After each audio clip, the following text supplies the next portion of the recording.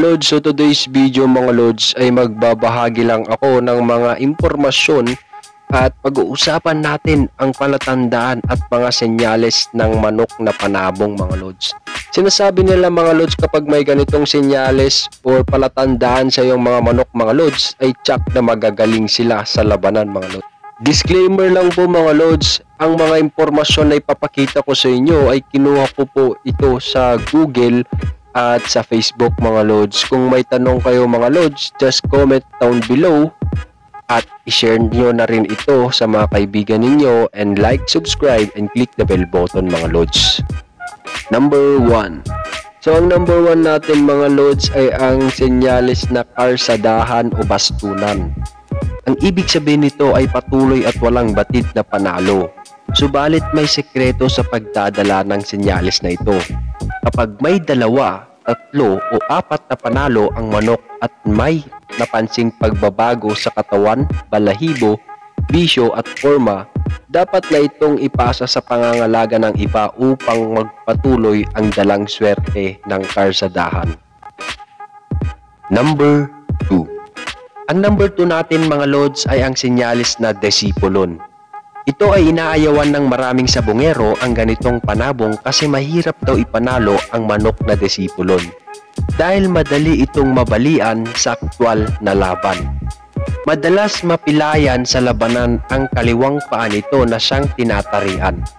Mas malaki ang tsansang matalo kaysa manalo dahil mapipilayan lang ito agad. Number 3 So number 3 natin mga lods ay ang senyalis na paningit sa ngingi. Nakatago ang munting kaliskis na ito at hindi makita kapag nakatayo ang manok. Sumusungaw lamang ito kapag dinaluktot ang daliri nito. Magugulat ka lamang na biglang mabubuwal at mamamatay ang kalaban nang hindi malinaw sa iyong sarili at pandama kung paano nanalo sa salpukan ang manok na may paningit sa ngingi. Iyan ang lakas at lihim na taglay ng senyales na ito. Number 4 So ang number 4 natin mga lods ay ang espada itaga. Ibig sabihin ay itak at punyal. Anyo ng dalawang klaseng kaliskis at espada itaga na matatagpuan sa magkabilang paa ng manok na yano lamang. Isang buong kaliskis na makikita sa tapat ng tahid ng kanang paa na sumasagisag sa espada samantalang sa kaliwang paa ng manok na tila punyal ang katulad. Magaling sa panalo ang manok na ito kung may partida, gaya halimbawa ng dalawang tari ang ikakabit sa labanan. Number 5 Ang number 5 na senyales mga lods ay ang sudyang sinpus. Iyangan ang pagdadala ng senyales na maswerte tulad ng sudyang sinpus na umabot hanggang limang panalo ang naibibigay nito. Ang sudyang singpus ay isang paningit na makikita sa panlimang kaliskis mula sa kuko ng daliri ng manok. Number 6 Ang number 6 na senyales mga lods ay ang bugtong sa kulog. Mahirap talunin ang kaliskis na ito mga boss. Ang senyales na ito ay nagbabadya ng mabilis na pagkilos sa unang salpukan unang patama sa unang sarguhan. First bulk o unang bigwas ang tawag dito na siyang mahalaga sa slasher fighting. Parang tinamaan ng kulog ang makakalaban ng ganitong sinyales. Laging nangingibabaw sa laban parang nabibingi at natitigilan sa pilantik ng palo ang bawat maengkwentro ng may ganitong kaliskis. Ang likos sa tuhod ay nagbabadya ng lakas sa paluan samantalang ang likos sa pamumuo ay tibay at tatag sa salpukan. Number 7 Number 7 ay ang punto de sangre. Ang sinyalis na ito mga boss ay mistulang tultok na makikita sa ilalim ng magkabilang pakpak ng manok. Isa itong sugat o mapulang tultok na mananariwa at naghihilom sa isang takdang panahon na buhay ng isang manok panabong. Buwanan kung lumitaw ang sinyalis na ito sa magkabilang pakpak ng manok na panabong natin mga lods. Namumula ang bias ng mga binti at paa ng manok kapag lumilitaw ang ganitong sinyalis. Kapag lumalabas o nagpapakita na ito, nagpapahiwatig ang manok na panahon para siya'y pumatay o magpadugo sa kaaway. Nasa kondisyon ang daloy at lapot ng dugo ng manok na ito na may senyales mga lods. Number 8 Ang number 8 natin mga lods ay ang bulsikot ni Judas. Pinaniniwalaan ng mga tahor ng matatandang panahon na ang manok na may bulsa o supot sa anumang bahagi ng katawan ay mahirap talunin sa parehas na laban dahil sagana ito ng katusuan at panlalamang sa kaaway. Mautak at mapaglinlang ito. Bumibilang din ng mga panalo ang manok na may senyales na bulsikot ni Judas. Nakapaloob sa senyales na ito ang hawak na swerte mga boss. Maraming surprise ang dala ang bawat hataw at hagupit ng manok kontra sa kanyang kalaban. Iwasan lamang ang paglaban sa ganitong senyales kontra mga ganador o multi-winner. Umiwas din sa mga senyales ng manok na may putok sa kaliskis at pakuan dahil bubutasin ang kalaban ang bulsikot ni Judas. Maliligwak ang dalang swerte. Number 9 Number 9 mga lods ay ang tungo sa lilong. Tungo sa lilong o buntot pugo ang tawag ng ibang sabungero sa ganitong senyales mga boss. Nakatungo ang posisyon sa pagtubo, karaniwan sa manok na papaitaas ang pagtubo ng balahibong nakapaloob sa buntot ng manok. Pambihira ang pagkakaiba nito mga boss. Mahirap talunin ang manok na may ganitong senyales at paboritong talunin ang senyales na ito ay ang ganador nananalo ito sa laban ng mga senyales na kanyang pinanungunahan o pinapayungan, gaya ng mga kaliskis sa paa ng mga manok. Kapantay nito sa galing ang mga senyales na makita sa pakpak at galudgod ng manok. Ngunit daig ang tungo sa lilong ng mga senyales na makikita sa leeg o pulok, ulo at palong ng mga kalaban. Number 10. Ang number 10 natin mga boss ay ang sinyal na bangka-bangkaan. Ang bangka-bangkaan ay parang pinaril sa ere ang kalaban ng manok na may sinyal na bangka-bangkaan. Magaling sa liparan at mabilis sa itaas ang manok ng bangkaan. Laging angat at lamang sa salpukan at maagap pa sa paluan. Mabilis pumatay at madiskarte sa labanan at tandaan at tsakin lamang na tuwing ilalaban ang manok na bangkaan Huwag kalilimutang silipin kung naroroon pa ang nag-iisang balahibo sa gitna ng kanal o hukay. Kapag nawala ang balahibo, mawawala na rin ang layag ng nagdadala ng swerte nito mga lods. Number 11 Ang number 11 mga boss ay ang senyales na tulyahan. Bistulang natutuyo ang mga kaliskis ng manok na senyal na ito Pangit man sa paningin pero mabilis kumilos at mahusay sa paluan mga boss. Magaling umipit ng kaaway kapag nasa gilid ng barantilya ang kalaban. Walang ganang makipagsalpukan ang manok na tulyahan. Kapag taib o mataas ang dagat, walang sigla, matamlay, parang nalulunod. Mahirap talon ang manok na tulyahan kapag panahon ng low tide o tagpunas. Number 12 Number 12 naman mga boss ay ang sinyal na kabig parada. Ang pagkakaroon ng manok na mahabang panloob sa daliri sa kaliwat kanang paa ay karaniwan sa manok ang pagkakaroon ng mahabang panlabas na daliri mga boss. May mga manok din naman na pantay ang panloob at panlabas na daliri, pangkaraniwan lamang ito at hindi tunay na kabig parada. Mahirap talunin sa parehas na laban itinuturo at inihahatid ng sinyales na ito ang pagtutunguhan ng kanyang kalaban. Ukay, kaldero, kawali o pulutan.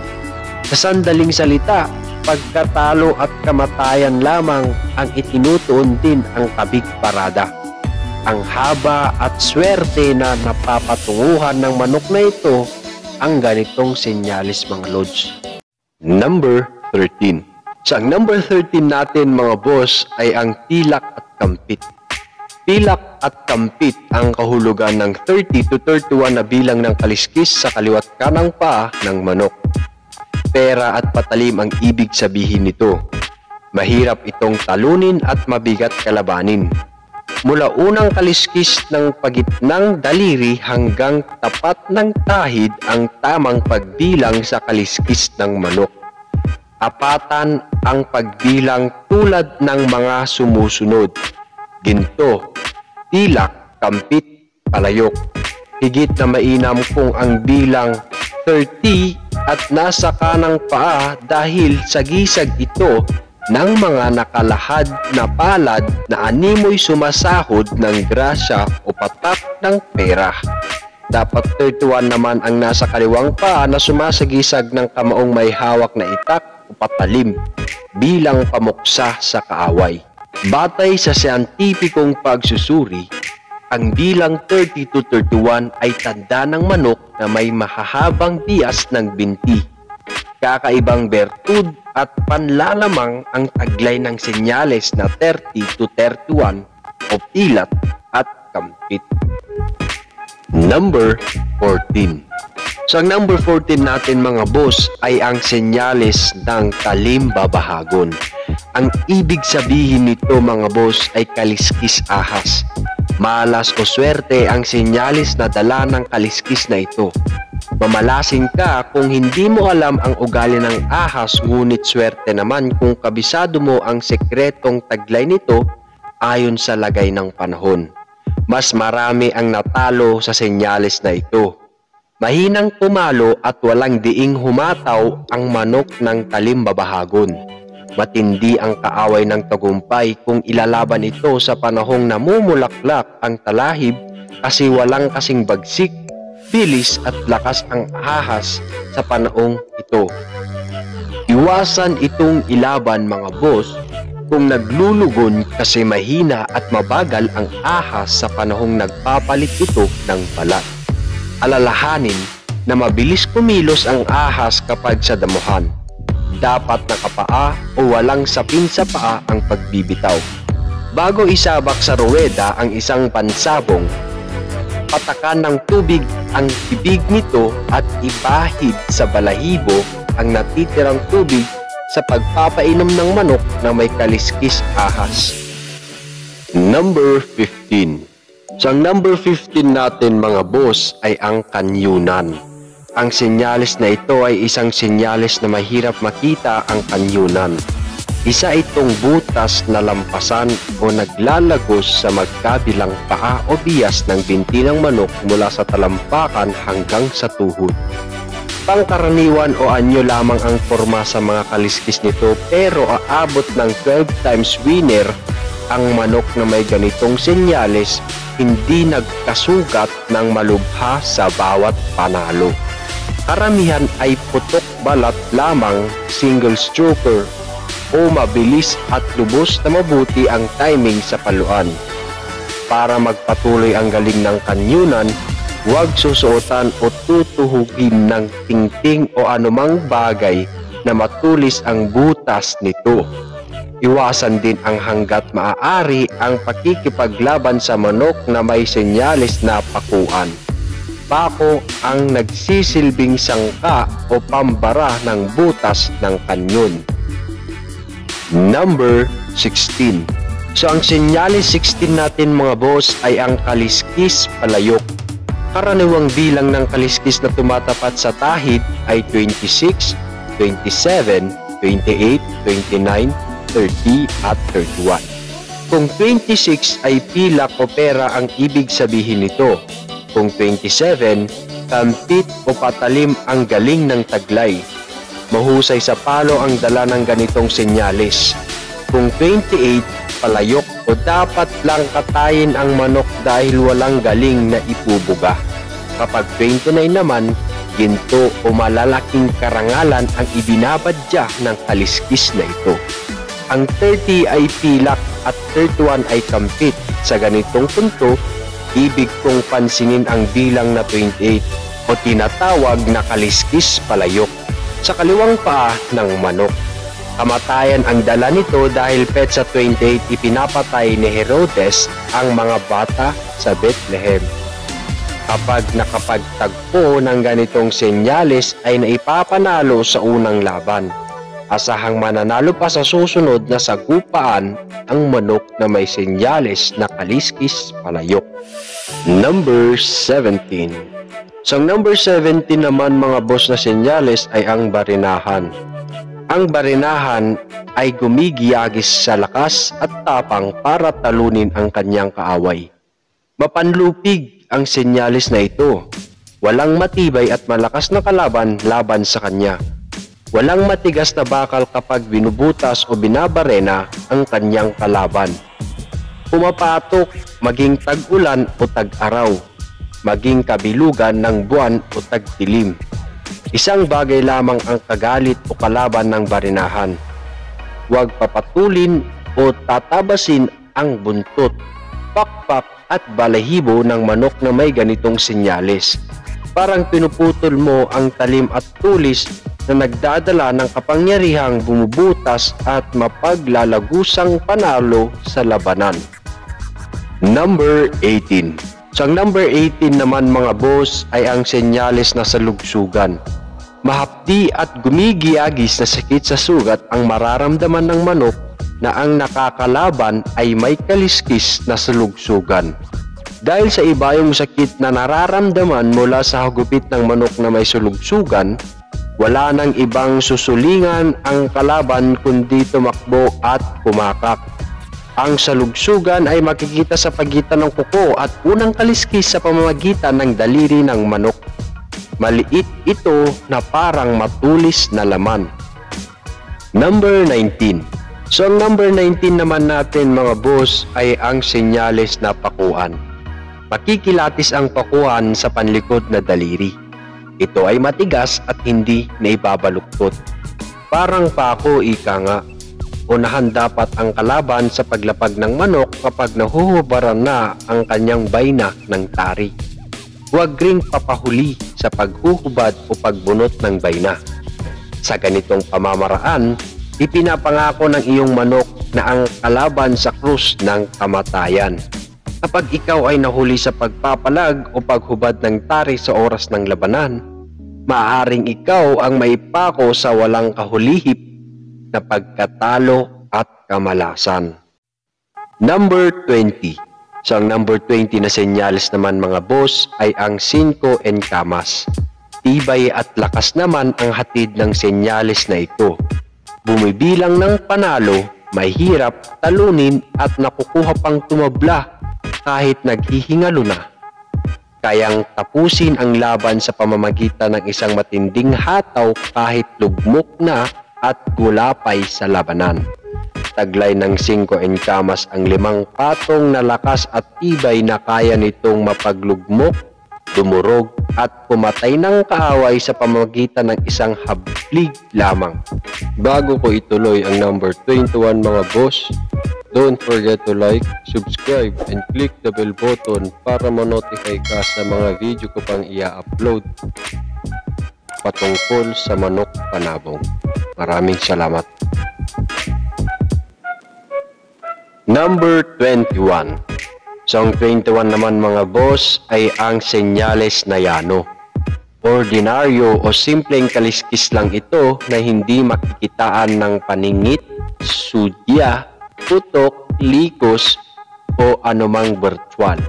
Pero ang yano ay siyang pumapatay at dumadaig sa isang ganador o multi-winner na mga panlaban. Delikadong makasugpa ang yano kapag unang laban o bumabasal pa lamang dahil sa pagkakataong ito ay gumagayisgis ang kaaway ng pamimiyapis. Number 22 So ang number 22 na sinyales mga boss ay ang tahid ulupong. Ang tahid ulupong na ito ay iba yung swerte ang hatid nito. Sinasabing may ulupong o ahas na takapagdala ng biyaya at talino. Parang ahas, handa itong lingkisin hanggang mamatay ang kaaway sa pamamagitan ng maririin at malalakas na hataw. Ngunit ang ahas ay may kinakatakutan din. Huwag itong ilaban kontra sa manok na puti o namumurong puti ang balahibog gaya ng lasak, bangkas at sinabalang. Number 23. So ang number 23 naman mga boss na sinyal ay ang sinyal na hara-hara. Karamihan sa tandang ay may apat na pantig sa pagtilaok na ganito. Tak, taraok, pambihira at itinuturing na magandang sinyales sa panalo kapag nagkakaroon ng manok na may limang pantig sa pagtilaok. Matibay ang paniniwalang mananalo ang tandang na ganito. Number 24. So, number 24 naman mga boss ay ang sinyal na silangin. Ang silangin ang taguri sa taong nakakakita ng mga nalikha sa ikatlong daigdig. May silangin din sa nabuhay ng mga manok. Kapag sinipat ng mabuti ang mata ng manok, makikita o masisilap ang anumang bagay na nasa kabilang bahagi. Lampasan ang paningin mo, lagusan. Paniniwalaan ng sinaunang sabungero na walang tatlo ang senyales na ito. Kahit itaya pa ang kahuli-hulihang yaman sa daigdig, pinakamakapangyarihan sa lahat ng senyales na ito at walang makakahigit pa sa ilalim ng araw at sa labanan. Number 25 So ang number 25 na sinyal mga lods ay tinatawag na banderahan. Napakalakas ng sinyal na ito kapag isinasabong ang manok na may mahalagang okasyong pinagdiriwang. Halimbawa kung may fiesta o anibersaryo ng bayan kung saan may mga palawit ng banderitas sa kalye at buong paligid. Mahirap ipanalo ang manok na banderahan kung pangkaraniwang araw lamang. Number 26 ang 26 na ito ay tinatawag na Don Cobarte, hari ng mga duwag. Duwag ang manok na ganito sa buong buhay niya. Dapat itong itago sa matidilim na lugar at iwasang makakita ng ibang tandang maliban sa piling ng isang inahin kapag nilalabas sa liwanag. Number 27 Ang sinyal na ito ay tinatawag na batong gapang isa itong matigas na umbok na lumilitaw kung minsan sa tapat ng tahid at karaniwang nasa itaas o ibabang bahagi ng tahid maging sa kaliwa o kanang paa. Magaling lamang ang sinyal na ito kung yano lamang ang kaliskis na taglay. Mabagal at pagulong-gulong lamang sa pagbitaw ang ganitong manok. Pero kapag nabakalan o natarian na ang ganitong manok ay parang ipo-ipo ang bilis ilag at pagpatay ang gagawin nito sa bawat makakalaban. Number 28 Ang number 28 na sinyal mga boss ay ang tinatawag na tukod langit. Ipinapahiwatig sa sinyal na ito ang pagiging superior sa kanyang kalaban. Hindi ito nagpapadaig kahit sa ang laban sa ereman o sa lupa.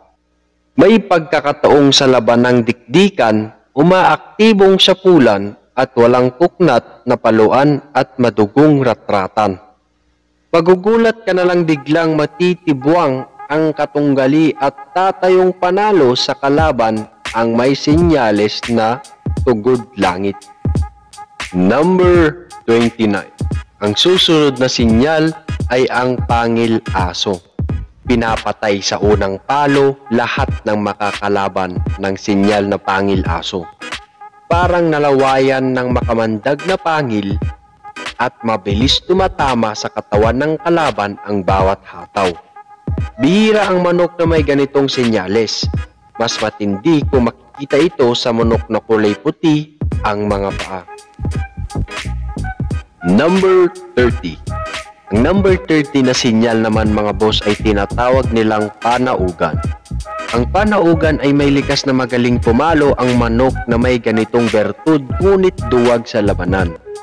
Nuyuyukuan ang kalaban kahit nasaan yung mamamatay na ito. Kahit nakakalamang sa kalaban ay namamayani sa sarili ang umayaw at tumalikod sa kaaway. Inaayawan at kinakatakutan ng matatanda ang panaugan. Magandang pangit ang sinyalis na ito maganda kung ang manok na panaugan ay na iisa o sulong alaga ng isang sabungero. Walang talo. Kung may kasama o kahalong manok sa kwadra ng isang sabongero, dapat unang ilaban ang may senyalis na panaugan. Kapag nanalo, mananalo rin lahat ng kasamahang manok o katropa. Kapag natalo ay wag na. Hanggat maaari dapat nag-iisa lamang sa isang bakuran ang manok na may ganitong senyales at dapat walang kasama. Number 31 Ang number 31 na sinyal mga lods ay ang tinatawag na doble uno. Karaniwan sa isang manok ang magkakaroon ng sampung bilang ng bagwis sa magkabilang pakpak. May manok na 10-11 at 9-11 lamang ang bilang. Hindi timbang ang lakas at paghataw ng ganitong manok. Totoong ang paniniwalang malakas sa paluan at matatag ang panimbang ng isang manok na ang magkabilang bagwis ay 11 ang bilang. Angat sa laban, superior sa laban. Number 32 Ang 32 naman na sinyal ay ang tinatawag na tahang. Sinasabing buenas ang senyales na ito dahil inuhuhulog daw papasok ang pera sa tahang ng tuka. Ang tukang puti na may guhit na itim o tukang itim na may guhit na puti ay tinataguri ang bagis. Mananalo rin sa laban ang ganitong senyales. Samantalang ang tuka na maikli at baluktot sa dulo na parang tuka ng loro ay sagisag ng manok na malakas ang panga sa pagkapit, pagtigil at pagpugpog sa kalaban. Nakalalamang sa dikdikang laban ang ganitong uri. Number 33 Ang 33 na senyales mga boss ay tinatawag na luksaan Paglilibing sa kaaway ang ibig sabihin ng senyales na ito. Kahit kulapay na sa laban o tipong matatalo na sa sultada ang luksaan, malaki pa din ang tsansa nito na manalo o maka 3 points sa kalaban dahil ito ang sinisigaw ng kanyang senyales. Bukod sa pagiging itim na tahid, dapat ang kulay ng paa ay puti o dilaw. Number 34 ang 34 na sinyal naman mga boss ay ang tinatawag na pahing o paling. Kinakailangang nakapaling sa kanan ang buntot bilang panimbang sa tari. Kung nakapaling sa kaliwa, masamang sinyalis ito na lalong magpahirap sa pagnimbang ng manok kapag natarian na. Hinahanap ng maraming buntot ang madalas na gumagalaw ng pagkaliwat pagkanan na parang nagwawalis Ibig sabihin daw nito ay winawalis ang perang papunta sa kandungan ng tunay na may-ari ng manok. Number 35 Ang 35 na sinyal ay ang tinatawag nilang unang putok. Magaling at bumibilang ng panalo ang ganitong kaliskis. Parang nakikiliti sa panalo ang manok na may dalang unang putok kahit isang daliri lamang ang may putok o hiwa o biyak sa unang kaliskis, ay ituturing na rin na unang putok na sinyalis nito. Bawat putok, isang panalo. Bawat panalo, kamatayan sa bawat kalaban. Number 36 Ang 36 naman mga boss ay ang tinatawag nilang putok sa lintik. Makikita ito sa ikalawang paa ng manok. Putok basag o hati ang isang kaliskis na nakatapat sa tahid. Maaaring bumaba ng isang hanggang dalawang kaliskis ang nag-iisang putok. Dapat natatakpan ito ng sapin kapag tinatarian na. Walang talo sa unang laban ang putok na lintik. Number 37 Ang 37 ay ang tinatawag nilang solo linyada Kapag nakatagpo ng ganitong senyales, ingatan ang manok na ito. Maswerte sa unang laban at nakakalamang ang panalo. Wala itong pinipiling kulay ng paa at balahibo. Laban sa lahat ang senyales na ito. Pero sa susunod na laban, hindi nakakatsak ng panalo. Number 38 Number 38 naman mga boss ay ang sinyal na sota or solitaryo. Ang senyales na ito ay gamit ng manok para latuhin ang kalaban. Nagiging alanganin ang pagpalo ng kalaban sa dahilan ng magkaiba ang tingin sa kaaway. Bumabase lamang sa panalo ang ganitong sinyales at bihira ang magiging ganador. Number 39 Ang sinyales na ito mga lods ay very popular sa ating mga sabungero. Ang pitong bakod or city coronadas. Isa sa mga bibigat at magagaling na sinyales ang pitong bakod. Mataas na grado ang kaliskis na ito at mahirap na talunin lalo na sa unang laban. Bumibilang ng panalo ang mga manok na may ganitong kaliskis. Nakapalibot ang pitong kaliskis na nagsisilbing bakod para hindi makalpas ang putong at swerteng hatid sa ulunan ng isang sabungero. Number 40 Ang number 40 natin mga lods ay ang payungan na sinyal. Ang payungan ay mainam ilaban kung sa bandang tanghali. Dapat tirik ang araw Malabong manalo ang manok na ito na may ganitong sinyales kapag maaliwalas ang panahon. Number 41 Ang 41 mga boss ay ang patampusa na sinyales. May dalang swerte na sinyales na ito at isa sa mga kinakikilalang bertud ng manok ang matampusa. Tingin ng kaaway ay pusa, ang kaharap sa labanan kaya mahirap ito at kilala. So yun lang mang po mga lods o mga boss ang mga sinyalis na pwede nating makita sa ating